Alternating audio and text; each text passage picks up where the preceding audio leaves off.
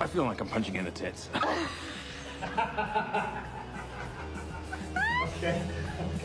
okay.